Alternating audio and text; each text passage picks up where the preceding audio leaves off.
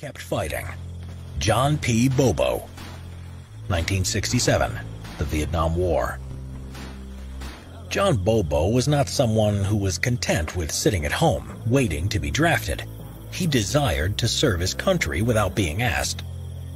Born on February 14, 1943, in Niagara Falls, New York, John was an exemplary young man. And it would be his unflinching resolve that made him stand out and ultimately made him a hero. While still a student at Niagara University, John Bobo enlisted in the Marine Corps Reserve. Once he completed his studies with a degree in history, he was commissioned as a second lieutenant. He didn't spend one day in the profession for which he studied. After receiving his commission, he immediately went to Quantico, Virginia for the Marine Corps Basic Training and Officer Candidate course. In June 1966, after the course was finished, Bobo was assigned to the 3rd Battalion, 9th Marines, 3rd Marine Division. That same month, along with the rest of his unit, he was deployed to Vietnam. John Bobo's unit was one of four battalions engaged in Operation Prairie 3 from March 19th until April 19, 1967.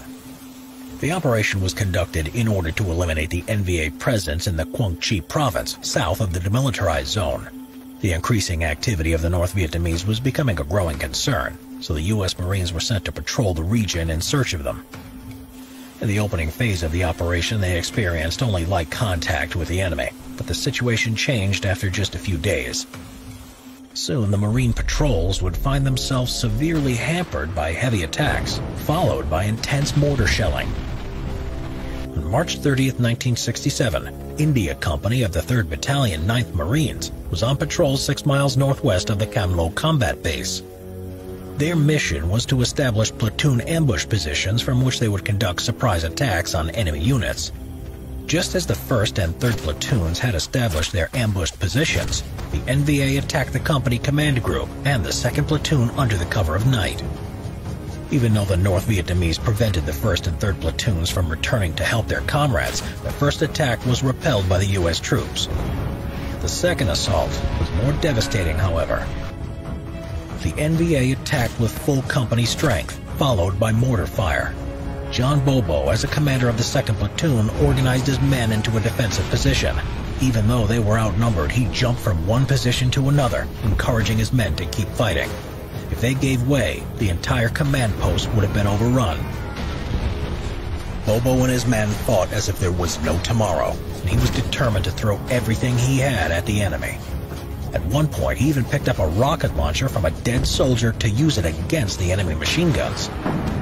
While he was running between positions, a mortar shell suddenly exploded near him. It didn't kill him, but inflicted a massive injury to his right leg below the knee. The platoon's medic rushed to evacuate him, but received a stiff rejection. Not only did Bobo refuse to leave the combat area, but he insisted that the medic help him to place himself in a firing position to provide cover for the rest of the group and allow them to move to a better position to engage the enemy. He needed to stop the heavy bleeding from his leg, so he used his web belt as a tourniquet and kneeled so that he could press his injured leg into the ground. With his lower leg torn apart, John Bobo continued to fight off the enemy from his position for some time, until he was mortally wounded by enemy fire. His unshakable courage in the face of the enemy helped the rest of the unit reach a protective position, from which they managed to repel the attack with the help of helicopter gunships. The battle ended with 16 Marines killed and 47 wounded.